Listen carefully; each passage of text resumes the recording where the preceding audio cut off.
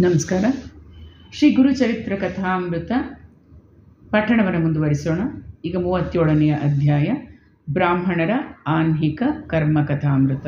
ಶ್ರೀ ಗಣೇಶ ಶಾರದಾ ಗುರುಭ್ಯೋ ನಮಃ. ಶ್ರೀ ಗುರುಗಳು ಬ್ರಾಹ್ಮಣನಿಗೆ ಪರಾಶರ ಸ್ಮೃತಿಯಲ್ಲಿ ಉಲ್ಲೇಖಿಸಿದ ಆಹ್ನಿಕ ವಿಚಾರ ಹೇಳಿದರು. ನಂತರ ಅದೇ ಸ್ಮೃತಿಯಲ್ಲಿಯ ಧರ್ಮದ ವಿಚಾರವನ್ನು ಹೇಳಹತ್ತಿದರು. ಮೊದಲು ದೇವಮಂದಿರವನ್ನು ಸಮ್ಮಾರ್ಜನಗೊಳಿಸಬೇಕು, ರಂಗವಲಿಯನ್ನು ಹಾಕಬೇಕು, ನಂತರ ಶುಭಾಸನದ ಮೇಲೆ ಕುಳಿತು ದೇವಪೂಜೆಯನ್ನು ಮಾಡಬೇಕು. ದೇವಪೂಜೆ, ವೈಶ್ವದೇವ ಪೂಜೆ ಮಾಡದ ಬ್ರಾಹ್ಮಣನು ಪಾಪಕ್ಕೆ ಗುರಿಯಾಗುವನು. ಪೂಜೆಯ ಕಾಲಕ್ಕೆ ಶುದ್ಧ ಆಸನದ ಮೇಲೆ ಕುಳಿತು ಪ್ರಾಣಾಯಾಮ ಮಾಡಬೇಕು. ನಂತರ ಪರಮಾತ್ಮನನ್ನು ಧ್ಯಾನಿಸಿ ಸಂಕಲ್ಪ, ಅಂಗನ್ಯಾಸ, ಕಲಶ ಪೂಜೆ, ಶಂಖ ಪೂಜೆ ಮಾಡಿ ನಿರ್ಮಾಲ್ಯವನ್ನು ತೆಗಿಬೇಕು.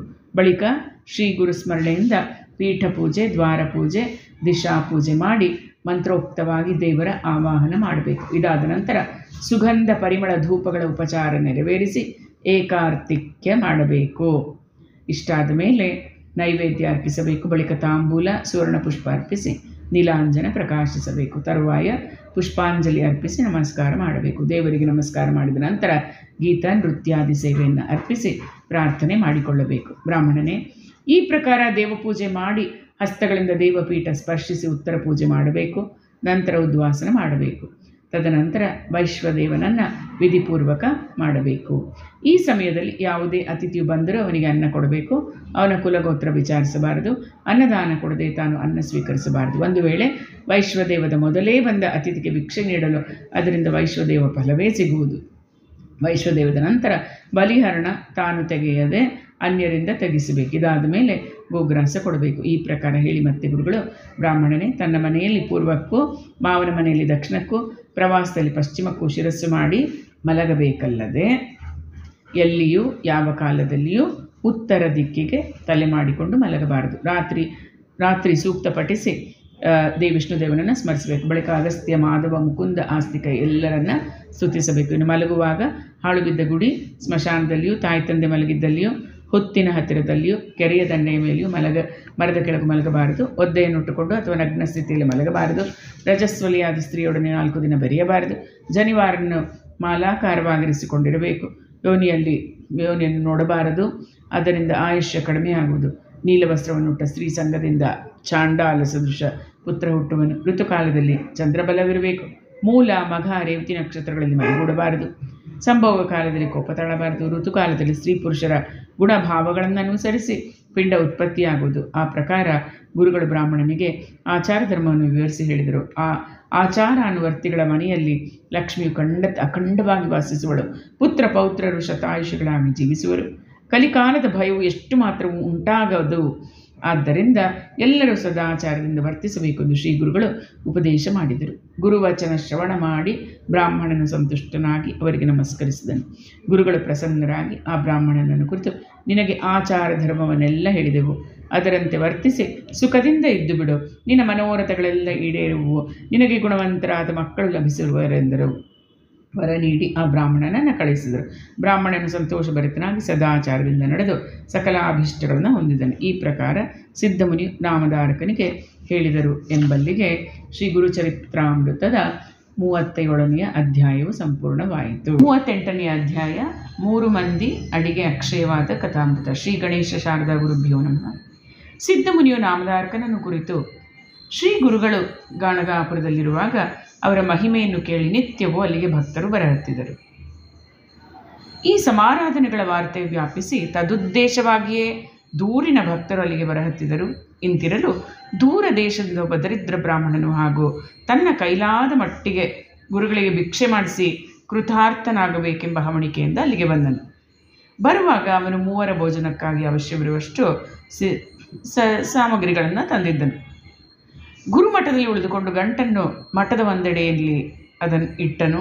ನಡೆದಿರುವ ಸಮಾರಾಧನೆ ಭೋಜನ ಮಾಡಿದನು. ಮರುದಿನ ಇನ್ನೊಬ್ಬರ ಸಮಾರಾಧನೆಯಾಯಿತು ಇದರಂತೆ ಅವನು ಅಲ್ಲಿ ಕೆಲ ದಿನ ಕಳೆದರೂ ಗುರುಗಳಿಗೆ ತನ್ನ ಭಿಕ್ಷೆ ಸಲ್ಲಿಸುವುದಕ್ಕೆ ಅವನಿಗೆ ಸಮಯವೇ ಸಿಗಲಿಲ್ಲ ದೊಡ್ಡ ಪ್ರಮಾಣದಿಂದ ನಿತ್ಯ ನಡೆದಿರುವ ಸಮಾರಾಧನೆಗಳ ಮುಂದೆ ಈ ದರಿದ್ರ ಬ್ರಾಹ್ಮಣನ ಆಸೆಯು ಅದೆಂತೂ ಕೈಗೂಡುವುದು? ಅದರಿಂದ ಅವನು ಉದಾಸೀನತೆ ತಾಳಿದನು. ಶ್ರೀ ಗುರುಗಳು ಅವನ ಭಾವನೆಯನ್ನು ಅರಿತು ಅವನಿಗೆ ತಮ್ಮ ಹತ್ತಿರ ಕರೆದು ಅವನ ಹವಣಿಕೆಯನ್ನು ಕೇಳಿಕೊಂಡರು ಹಾಗೂ ತಮ್ಮ ಶಿಷ್ಯರಿಗೆ, ಎಲ್ಲೋ, ನಾಳಿನ ದಿನ ಈ ಬ್ರಾಹ್ಮಣನ ಭಿಕ್ಷೆ ಸ್ವೀಕರಿಸುವೆವು. ಇನ್ನಾರೂ ಮಾಡುವ ಸಮಾರಾಧನೆಗೆ ನಾಳೆ ಆಸ್ಪದವಿಲ್ಲ. ಈ ಬ್ರಾಹ್ಮಣನ ತಂದ ಸಾಮಗ್ರಿಯಲ್ಲಿಯೇ ಎಲ್ಲ ವ್ಯವಸ್ಥೆ ಆಗಲಿ ಎಂದು ಅಪ್ಪಣೆ ಕೊಟ್ಟರು ಅಡಿಗೆಯ ಶಿಷ್ಯರು ಓಡ್ತಾ ಮುಂದೆ ಬಂದು, ಸ್ವಾಮಿ, ಬ್ರಾಹ್ಮಣನ ತಂದ ಸಾಮಗ್ರಿಯಿಂದ ಕೇವಲ ಮೂವರಿಗೆ ಸಾಕಾಗುವಷ್ಟು ಅಡಿಗೆ ಸಿದ್ಧವಾಗಿದೆ. ಇದನ್ನರಿಯದೆ ಆ ಬ್ರಾಹ್ಮಣನು ಊರಿಗೇ ಔತಣ ಕೊಟ್ಟಿರುವನು. ಮುಂದೇನು ಗತಿ? ಎಂದು ಕೈ ಮುಗಿದು ಹೇಳಿದರು. ಗುರುಗಳು, ಅಡಿಗೆಯ ಶಿಷ್ಯರು ಹೇಳಿದ್ದನ್ನು ಕೇಳಿ ಪಾಕಶಾಲೆಯಲ್ಲಿ ಪ್ರವೇಶ ಮಾಡಿ ನೋಡಲು ಮೂವರಿಗೆ ಸಾಕಾಗುವಷ್ಟು ಪಾಕ ಸಿದ್ಧವಾಗಿತ್ತು. ಅವರು ಆ ಅಡಿಗೆಗೆ ಕಮಂಡಲದ ತೀರ್ಥೋದಕವನ್ನು ಪ್ರೋಕ್ಷಿಸಿದರು. ತಮ್ಮ ವಸ್ತ್ರವನ್ನು ಪಾಕಪಾತ್ರೆಗಳ ಮೇಲೆ ಆಚ್ಛಾದನೆ ಮಾಡಿಸಿದರು. ಪಾತ್ರೆಗಳ ಮೇಲೆ ಹೊದಿಸಿದ ವಸ್ತ್ರ ತೆಗೆಯದೆ ಮುಸುಕಿನಿಂದಲೇ ಪದಾರ್ಥ ತೆಗೆದುಕೊಂಡು ಹೋಗಿ ಬಡಿಸಿರಿ ಎಂದು ಹೇಳಿದರು. ಗುರುಗಳಿಂದ ಅಪ್ಪಣೆ ಪಡೆದು ಆ ಬ್ರಾಹ್ಮಣನು ಎಲ್ಲರಿಗೂ ತೀರ್ಥಾದಿಗಳನ್ನು ಕೊಟ್ಟನು, ಬಡಿಸುವ ಶಿಷ್ಯರೆಲ್ಲ ಪದಾರ್ಥ ಬಡಿಸಿದರು. ಬಳಿಕ ಸಮಾರಾಧನೆಯ ಕರ್ತಾರನು ಬ್ರಾಹ್ಮಣರು ಉಚ್ಚರಿಸುವ ಮಂತ್ರದೊಡನೆ ಪಂಕ್ತಿಗಳ ನಡುವೆ ನಿಂತು ನೀರು ಬಿಟ್ಟನು. ನಂತರ ಗುರು ಶಿವಸ್ಮರಣೆಯೊಂದು ಎಲ್ಲರೂ ಗುಂಜಿಸ ಹತ್ತಿದರು ಯಾವುದೊಂದಕ್ಕೂ ಕೊರತೆಯಾಗಲಿಲ್ಲ ಈ ಸೊಬಗಿನಲ್ಲಿಯೇ ಎಲ್ಲರ ಭೋಜನವಾಯಿತು. ಭೋಜನೋತ್ತರ, ಭೋಜನಾಂತರ ಕೈ ತೊಳೆದುಕೊಂಡರು. ಬ್ರಾಹ್ಮಣನು ಕೊಡುವ ತಾಂಬೂಲಾದಿಗಳನ್ನು ಸ್ವೀಕರಿಸಿದರು. ಶ್ರೀ ಗುರುಗಳಿಗೆ ವಂದಿಸಿದರು. ಗುರುಗಳು ಅವರಿಗೆಲ್ಲ ನಿಮ್ಮ ನಿಮ್ಮ ಪುತ್ರ ಕಳತ್ರ ಮುಂತಾದವರನ್ನು ಎರಡನೆಯ ಪಂಕ್ತಿ ಭೋಜನಕ್ಕೆ ಕಳಿಸಿಕೊಡಿರಿ ಎಂದು ಅಪ್ಪಣೆ ಕೊಟ್ಟರು. ಅದರಂತೆ ಎರಡನೆಯ ಪಂಕ್ತಿಯು ಮುಗಿಯಿತು. ಊರಿನ ಎಲ್ಲ ಬ್ರಾಹ್ಮಣ ವರ್ಗದವರ ಭೋಜನ ಮುಗಿಯಿತು. ಗಾಣಗಾಪುರದಲ್ಲಿ ಅಂದಿನದೇ ಒಂದು ಪ್ರಾಣಿ ಕೂಡ ಸಮಾರಾಧನೆಯ ಗ್ರಾಸ ಭುಂಜಿಸದೆ ಉಳಿಯಲಿಲ್ಲ. ನಂತರ ಗುರುಗಳು ಬ್ರಾಹ್ಮಣನಿಗೆ ಭೋಜನ ಮಾಡಲು ಹೇಳಿದರು. ಅವನು ಭೋಜನ ಮಾಡಿದ ಮೇಲೆ ಇನ್ನೂ ಅಡಿಗೆ ಮೊದಲಿನಂತೆಯೇ ಉಳಿದಿತ್ತು. ಅದನ್ನು ಗುರುಗಳ ಅಪ್ಪಣೆಯಿಂದ ನದಿ ಪ್ರವಾಹಕ್ಕೆ ನೀಡಿದರು.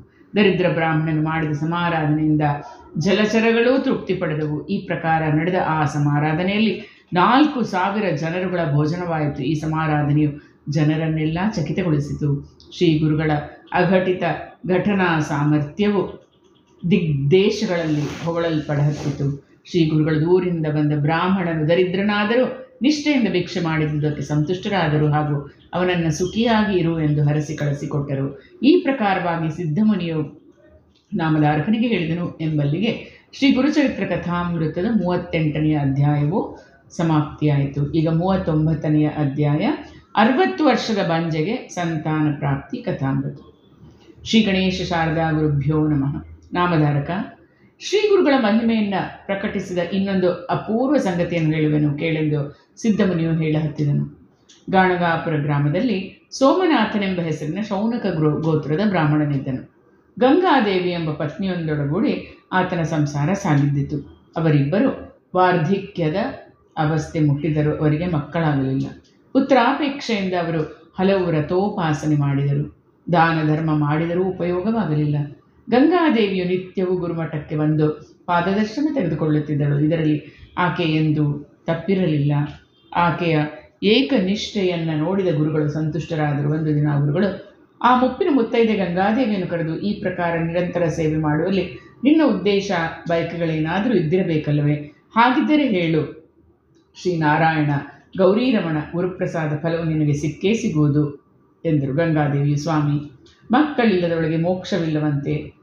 ಅವಳು ಬಂಜೆ ಎಂದು ಜನರಾಡುವರು ಅದರಂತೆಯೇ ನನ್ನ ಸ್ಥಿತಿಯಾಗಿದೆ. ನನಗೆ ಸಂತತಿಯೇ ಲಭಿಸಲಿಲ್ಲ.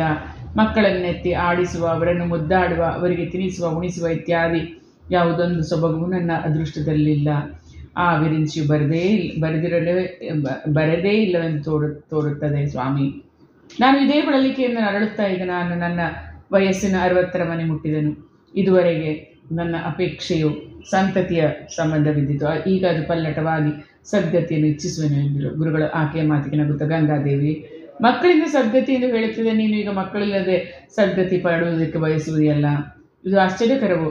ನಿಜ, ನಿನಗಂತೂ ಸದ್ಗತಿ ನಿಶ್ಚಿತವೇ ಇರುವುದು, ಆದರೆ ನೀನು ಇಹ ಜನ್ಮದಲ್ಲಿಯೇ ಪುತ್ರನೊಬ್ಬನನ್ನು ಹಡೆದು ಸುಖವಾಗಿ ಜೀವಿಸಿ ಸದ್ಗತಿಯನ್ನು ಪಡೆಯುವಿ. ಇದು ನಿಶ್ಚಿತವು ಎಂದಿರಲು ಆಕೆಯ ನಗಹತ್ತಲು ಗುರುಗಳ ಸಾಗಿ, ಇದು ನಗೆಯ ಮಾತಲ್ಲ, ನಮ್ಮ ಮಾತಿನ ಮೇಲೆ ನಿನ್ನ ವಿಶ್ವಾಸ ಅಚಲವಾಗಿದೆ ಎಂದು ನುಡಿದರು. ಕೂಡಲೇ ಆಕೆಯ ವೃತ್ತಿಯು ಬದಲಾಗಿ ಗುರುವಚನ ನಂಬಿ ನಮಸ್ಕರಿಸಿದಳು ಆಕೆಯು ತಾನು ಇದುವರೆಗೆ ಅಶ್ವತ್ಥ ಸೇವೆ ಮಾಡಿದ್ದನ್ನು ಹೇಳಿದಳು.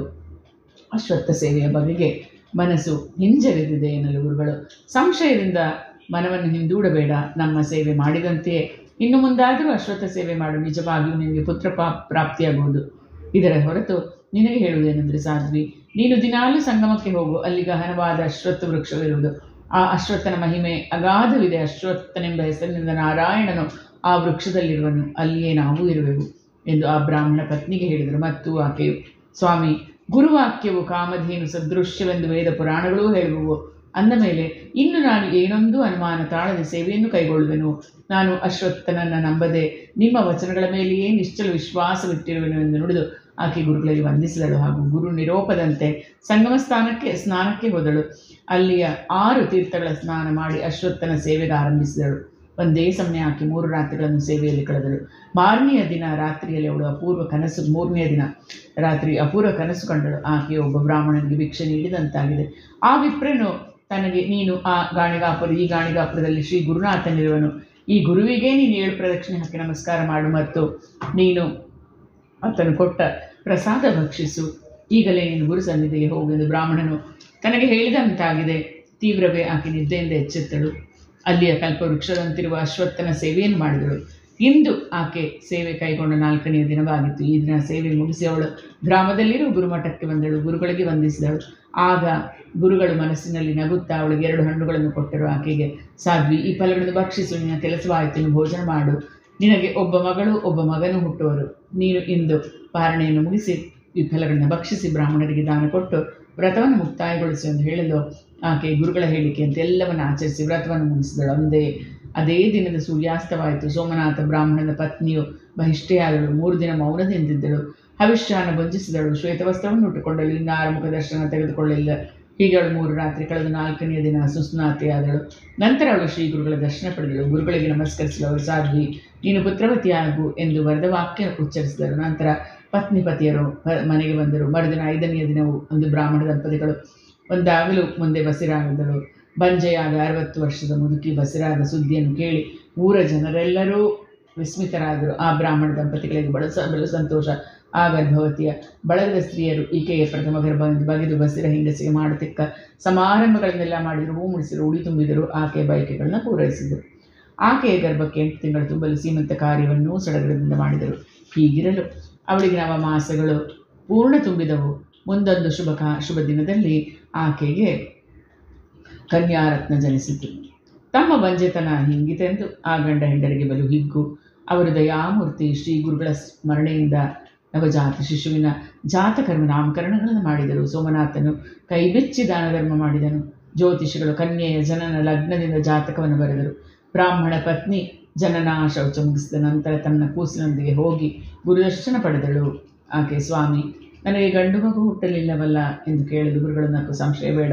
ಇನ್ನು ಮುಂದೆ ಪುತ್ರನನ್ನೇ ಪಡೆಯುವೆ ಎಂದು ಹೇಳಿ ಗುರುಗಳು ಆಕೆಯ ಕೂಸನ್ನು ಅಮೃತ ದೃಷ್ಟಿಯಿಂದ ನಿರೀಕ್ಷಿಸಿದರು. ಮತ್ತು ಗುರುಗಳು, ಸಾಧ್ವಿ ನೀನು ಇಚ್ಛಿಸುವ ಮಗನು ಎಂಥವನಿರಬೇಕು ಮೂವತ್ತು ವರ್ಷದ ಬುದ್ಧಿವಂತನೋ, ನೂರು ವರ್ಷದ ಮೂರ್ಖನೋ ಎಂದು ಕೇಳಿದ ಆಕೆ ಸ್ವಾಮಿ, ವಯಸ್ಸಿನ ವಿಚಾರ ಬೇಕಾಗಿಲ್ಲ. ನನ್ನ ಮಗನು ಜ್ಞಾನಿ, ವಿದ್ವಾಂಸನೂ ಆಗಿ ಖ್ಯಾತಿಯನ್ನು ಪಡೆಯುವನು ಇರಬೇಕು. ಹಾಗೂ ಅವನಿಗೆ ಐವರು ಗಂಡು ಮಕ್ಕಳ ಸಿರಿ ಉಂಟಾಗಬೇಕೆಂದು ಅದಕ್ಕೆ ಗುರುಗಳು ತಥಾಸ್ತು ಎಂಬ ವರವಾಕ್ಯ ನುಡಿದರು. ಅದರಂತೆ ಸೋಮನಾಥನಿಗೆ ಮಗನು ಹುಟ್ಟಿ ಐದು ಮಕ್ಕಳನ್ನು ಪಡೆದನು. ಗುರುಗಳು ಕನ್ಯೆಯ ಪತಿಯ ಯಜ್ಞ ಮಾಡಿ ದೀಕ್ಷಿತನೆಂದು ಪ್ರಸಿದ್ಧನಾದನು. ಆ ಕನ್ಯೆಯು ದೀಕ್ಷಿತ ಪತ್ನಿ ಸರಸ್ವತಿ ಎಂದು ನಾಡಿನ ಎಲ್ಲರಿಗೂ ಪರಿಚಿತಳಾದಳು. ಈ ಪ್ರಕಾರ ಸಿದ್ಧಮುನಿಯು ಮುಪ್ಪಿನ ಬಂಜೆ ಪುತ್ರವತಿಯಾದಳೆಂದು ನಾಮಧಾರಕನಿಗೆ ಹೇಳಿದನು ಎಂಬಲ್ಲಿಗೆ ಶ್ರೀ ಗುರುಚರಿತ್ರೆ ಕಥಾಮೃತದ ಮೂವತ್ತ ಒಂಬತ್ತನೆಯ ಅಧ್ಯಾಯವು ಸಂಪೂರ್ಣವಾಯಿತು. ಶ್ರೀಕೃಷ್ಣಾರ್ಪಣಮಸ್ತು.